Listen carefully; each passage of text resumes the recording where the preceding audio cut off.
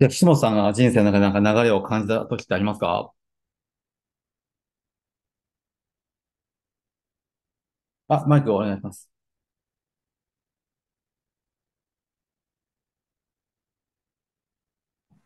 あ、私、あの、あの前職言ってなかったと思うんですけど、船乗りだったんですよ。うんあ、あ渡辺さんも知らなかった。面白かったです。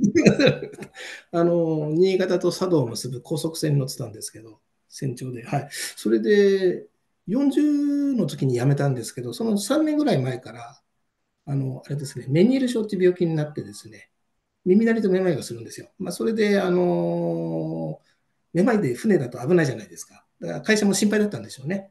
まあ、降りて陸上勤務しなさいっていうことだったんですけど、ちょっとそれも嫌だなと思って、結構ね、仕事が大変だったのと、ストレスもストレスフルな会社だったもので、辞めれば治るなっていうのがあったんですよ。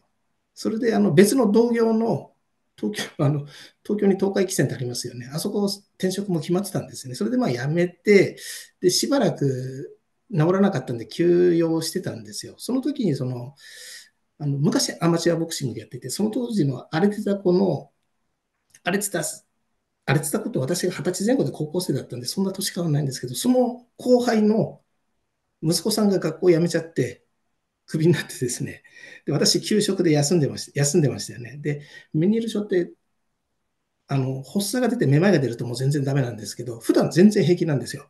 うん、それでまあ、じゃあ私、体調いいとき一緒にその高校辞めた、あの高卒認定試験っていうのがありまして、うん、一緒に勉強するかっていうので、まあ、一緒に勉強して、そのこと1回で取ったんですね。それそれがすごくいい、嬉しくてですね。で、その子があの昔でいう大番長で、仲間が学校を辞めるとはうち連れてきたんですよ。で、その荒れてる子が最大6人ぐらいうちで勉強するようになって、一瞬、なんか良くないことがパッとよぎったんですよね。これが仕事になったらいいなと思ってですね。それがまあまあなっちゃったわけですけど、だからあの病気がまあ一つ転機で、すかね。で、やっぱりあの会社員時代、やっぱ人間関係とかにもかなり悩んでたし、社長さんにすごい嫌われてましてですね、周りが心配するぐらい、どうしてあんなにいじめられるのっていうぐらいいじめられてまして、で、やっぱりその嫌な気持ちもすごくあったんですけど、すごく応援してくれる人がたくさんいてですね、じゃあまあこれで船はもうやめて、まあ、この道に進もうと思った時に、思ったのが、そのいじめられて何くそっていうよりも、その中で応援してくれた人の、この人たち心配させるの嫌だなとか、やめてよかったねって言われたいなって思ったのが、やっぱり一つの転機だったでしょうかね。で、やっぱり良かったです、やめて。で、病気しなかったらやめられなかったですね。好きな仕事だったんで。はい、船の仕事も。はい。だからあれ、最悪な出来事だったんだけど、あれ、最高のきっかけいただいたなと思って、ちょっとな今日の流れとはちょっと別の流れかもしれませんけど、あそこはもう大きな転換点だったなと思っていますかね。で、なんか、人を恨んでるよりも、やっぱり、あの、応援してくれた人のこと、今でもやっぱりよく覚えてるんで、その方が自分も幸せだし、あ、これがやっぱりさっきのありたい自分でしょうかね。うん、あの、見返してやるとかそういうことよりも、見返したいがなりたいだったら、あみんなに、あの、ね、安心してもらいたいっていうのがありたいでしょうかね。なんかそんな感じで流れというか天気というかそういうものを今ちょっと思い出して、はい、いました。はい。なるほど。ありがとうございます。そうですね。これ結構ね、スポーツの試合の中でも悪い流れにあるように見えて、こういうふうにやられてるってっていう事象は変わんないんだけども、それの利用の仕方を考えてうまくチャンスに結びつけていくみたいなのもあったりしますよね。ありますね。うん。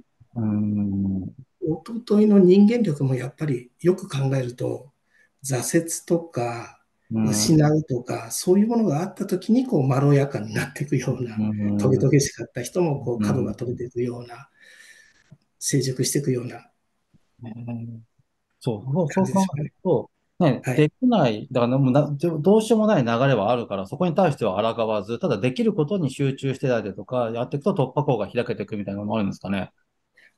ですね、できることやろうと思いましたね。はい。うん、あいつも、あの、さっきも、あの、何でしたっけ、金メダル取ったお二人が勝てると思ったと。もうダメだと思ったけど、楽しもうでしたっけ？まあ、共通するのは今できることをやろうってうん。おっしゃったんですけど、本当に今できることをやるしかないうん。んですね。うちの生徒にもよくね、あの苦しい時になんかできることやったらいいよって言うんですけど、自分自身もそうでしたね、やっぱり。うん。はいはい。ね、でそこで分析せずにあれこれ構わずやっていっちゃうと、きあ多分傷口がはい、よね。そうですね。はい一旦冷静になって、できることはい、ね、できることからやっていく。やっていく。はい。うん。本当に、うん。おすすめもあって無心と没頭なんですけど、あの、本当動けない子なんかは何もできないんで、うん。まあ、漫画読むでもいいですし、うん。おすすめ皿洗いだよとかね、新潟ですんで冬は雪かきとか、あうれすごくいいんん。ですよ。はい。そんなことで元気、はい。あの、なんか無心にこうやれるし、う達成感ん。あるし、感謝されるし、うん。なんかね、すごくいい。だからできる、私もそうですね。なんかできることをやってる。もしかしたらあれがありたい自分なのかもしれないですね。無心に没頭してる姿、時が。はいなるほど。また素晴らしいヒントありがとうございます。なんか、花岡さんなんか言いたいことありそうな顔してるんで、どうぞ。あの感想だけはい。岸本さんの話を聞いてて、まあ、ボンさんのそのあのああの愛の手も含めてっていうところであの、まあ、やっぱ川の石ってうまいこと表してるんだと思いましたね。川の石？ね川の石ってあの、ね、上流の方で頑張ってる石ってみんなゴツゴツしてて人を寄せつけないですけど、ね、だんだん丸くなってくる。どんどんどんどん丸く流されて。転がって えらい目にあって でも、ね、流されるっていうのも悪くないってことだろううなと思いますん。し、うん、やっぱり流れに逆らうよりも流される時間っていうのも必要だとは思いますし、その先にね、こう、どういうふうに自分がなるのかって、ちょっとでも見えてれば楽なのかもしれないですけど、えーそれが真っ暗闇で流されるっていうのは恐ろしいなと思うので、うーん、そこですかね。なんかやっぱコーチの仕事とか、あと、まあ教師もそうだとは思いますけど、岸本さんのお仕事もきっとそうだと思うんですけど、ね、流されたって転がったって、その先は大丈夫だってきっうとん。思えれば、みんな安心して転がるのかなっていう気がしました。うん。なんとかなるっていう。うんうん。うん。やっぱ岸本さんみたいにこう今まろやかな感じに、ね、こう丸くなられてるっていうそのモデリングがあればきっと岸本さんの元に集まられる子たちも安心できるんだろうなと思ったのでやっぱり、ね、そのトゲトゲしないコーチに僕もなりたいなと思いました。まだまだ修行が足りん。